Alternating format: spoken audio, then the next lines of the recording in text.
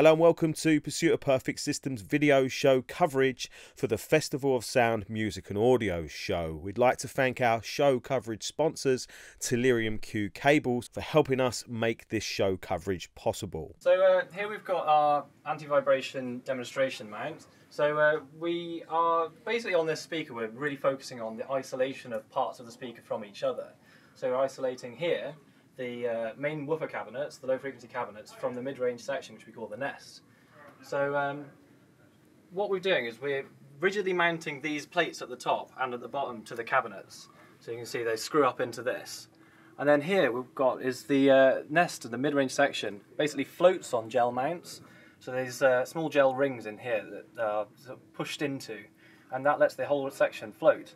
So what we've got on this jig here is uh, we've got accelerometers on the front and on the back of this jig. Uh, on the back is basically assimilating the cabinet. and On the front is just showing what vibrations would make it through from the cabinet onto the mid-range section. So if I tap on here, you can see the green line is uh, recording vibrations on the front of the enclosure. And on the red line is if I tap on the back, showing what happens on the back. And what we have here is uh, we're exciting the back of the cabinet with uh, tactile transducers, basically small drive units without the cone.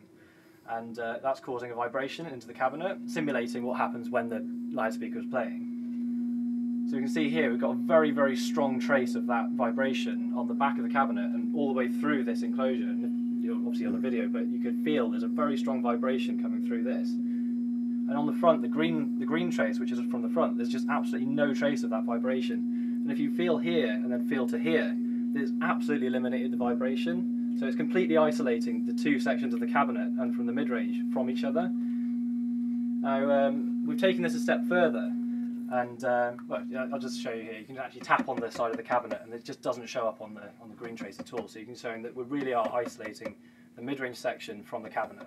So the benefit of that is to keep the bass away from your mid-range yeah, to stop it colouring exactly. mid-range. So yeah. what it does is it stops uh, any vibrations from the woofers mm -hmm. and from the bass uh, muddying up the mid-range, mm -hmm. what you find is a thing called intermodulation distortion, where the slight motion of that bass and the vibrations going through the mid-range driver just mm-hmm. changes subtly the, the frequencies that you hear from the front of the, the mid-range. So without that, we've really reduced a major source of mm-hmm. distortion in the loudspeaker. And it does, it's very audible. We've tried it with and without these mounts, mm-hmm. and there's a huge difference in how clear and how well defined the mid-range is. And what we've further done is uh, this tweeter is mounted on a soft compliant mount as well. So if you, you can actually push on it, I don't know how well that's going to come through, but you can genuinely push on it and the whole thing moves. So not only have we isolated the whole nest, the whole mid-range section from the rest of the speaker, but we've also isolated the tweeter from the mid-range itself. The it, so there's yeah. just no interference between all the drivers. It's completely uh, clean signal. So what we really wanted with this loudspeaker was just only going to hear uh, sound from the drivers as it's intended and no, no interfered sound. So uh, here we've got, it is just the aluminium part of the nest. It's milled out of a solid billet of aluminium. Uh, it's got channels in the back for all our cables, so we, we, really wanted it to feel like a completely premium product. And it is a premium product, so we didn't want any visible cables anywhere. So we've moved to using proprietary connectors that we developed for this, and uh, all the cabling is completely hidden in this. So it's an incredibly solid, rigid part, and uh, it again helps with the uh, mass loading these uh, anti-vibration mounts and stops any transmission of vibration through it. It's a very dense piece of metal. Uh, now here we've got the crossover. Uh, it's by far and away the most advanced crossover we've ever developed. Um, it's got provision for both LF and HF tilts up and down.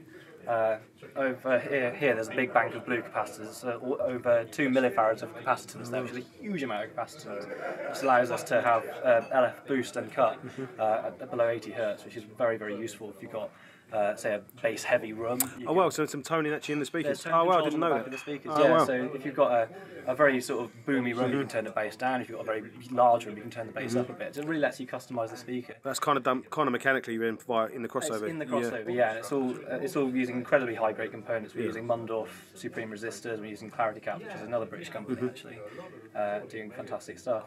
Um, so yeah, no, it, it, means that the speaker. A lot of people see such a large loudspeaker and they assume that it's only ever going to work in a massive space because mm. it's so huge. It must sound terrible in small mm. rooms, but really, we've got a lot of control on the bass, mm. and uh, you can actually customize it and make it sound good in whatever room you have. Okay. So it's quite sort of. Uh, yeah. Well, sound good in my room if you want to give me a pair. So. Yeah, yeah, yeah, sure. just take, take, take, these ones home. We don't need them anymore. Uh, so this is just various parts showing the metal work. So uh, this is uh, the rear chamber on the mid-range driver. Uh, what we've done with the mid-range is we've modified our existing 20, 75mm soft dome mid-range driver, which is a really world-renowned driver. It's one of the best mid-ranges out there, if not the best in the world. Uh, we didn't need it to go quite as loud in this as it does in some of our larger active speakers. So what we've done is we've bored through the, mid, the middle of the pole piece, and that's allowed all the back pressure behind the dome to be released into this chamber, and it really opens up the mid-range and gives it a much more airy, detailed sound. So for this, it really is a sort of noticeable improvement over what was already a spectacular drive unit. Uh, you've also got our new terminals here, which are solid copper with rhodium plating. Uh, which we get made specially for us. Uh, the stainless steel feet, which are um, very nice feet. what to say about And that, there you can see actually the tweeter, which I, I, showed before, which is the compliant mount. So what happens is we clamp that gel ring into the cabinet, and so the tweeter itself is basically floating on the gel mount. Uh, and it lets it be uh, completely uh, isolated from the speakers. Good idea. Good idea. Uh, and this here is just a dummy model of our plinth. Uh, we again the Mac the crossover. We've been really obsessive about our anti-vibration in this loudspeaker. The whole crossover is mounted on anti-vibration mounts as well. You can just about see them underneath the screws, the small black rubber grommets, and, and that again just further isolates the crossover, stops any micro vibrations passing through into that, uh, and just keeps it as clear as possible, mid-range and pure sound as possible. And then obviously moving on to the finished product. Yeah. Yeah. So here on the loudspeakers themselves, uh, it's a twin transmission lines. We've got basically two mm-hmm. bass cabinets, four of our brand new uh, six and a half inch flat piston drivers, uh, new composite weave uh, carbon fibre we've got. It's two layers of carbon fibre which are sandwiching a, uh, a, a, damping foam. Uh, it's incredibly stiff because we've got the carbon fibre weaves opposed, so 90 degrees to each other. Incredibly rigid but very light diaphragm. Very high excursion driver, so it goes very loud if we need it to. Mm-hmm uh, but it's also incredibly controlled and, and detailed at low levels. Um, the side panels, the wings that we've got on them, uh, are again uh, mounted on anti-vibration mounts. The whole wing moves. You can see it. Oh, wow. It's all compliant mounted. And what happens is uh, the side panel is mass damping the side of the panel. So the panels, the wings vibrate in anti-phase to the vibrations coming from the side of the panel and cancel them out. Oh, wow. So you get no sound emitted from the side of the cabinet which is again unwanted coloration. Mm. So it's another distortion source that we've removed there. Uh, we've got our so it's making the cabinet work for you as opposed to yeah, it being a being a hindrance. That's exactly. really clever. So instead of having really clever. annoying vibrations coming from mm-hmm. the side of the cabinet, it, you can damp the cabinets as much as you mm. want. There will always be some vibration from the actual side of the cabinet. So instead of just trying harder and harder to mm. uh, come up with new materials to dampen it, we thought well, let's use it. It's a similar system mm. that uh, buildings use to uh, counteract earthquakes for instance, uh, and, and it works really, really well. So uh, we get no emissions that we don't want on the side of the loudspeaker. And here you can see the nest again. It's yep. on its compliant mount. You can actually slightly wiggle the whole thing just to show that it is it is compliant. It does move a little bit in its mount. So if you wiggle that, does it void your warranty? we wiggle a bit too hard and twist it out maybe, but it's, it's very firmly in there. We, have made it quite a solid thing. you have to try hard. And then up, up top we've got uh, the Laminair vent, mm-hmm. which we uh, first featured on the 25 series. Yep. Uh, it's it, it, it's uh, basically aerodynamically smoothing the flow of air going in and out of the cabinet. Because uh, as we move, as the drivers move in and out and pressurise the transmission line, a lot of air. And if you put your hand near it when it's moving, when it's actually working loud, uh, an awful lot of air gets forced in and out. And the Laminair vent just smooths the flow of air. It makes a lot less chuffing noise, a lot less distortion in the bass, gives you a clearer and more well-defined bass. And can you talk us through the system by any chance? Are you model number of these, but it's uh, AVM monoblocks we're using. Uh, AVM's a German brand that we distribute here. And over here we've got an AVM Ovation PA 8.2 preamp. Uh, I didn't just read that.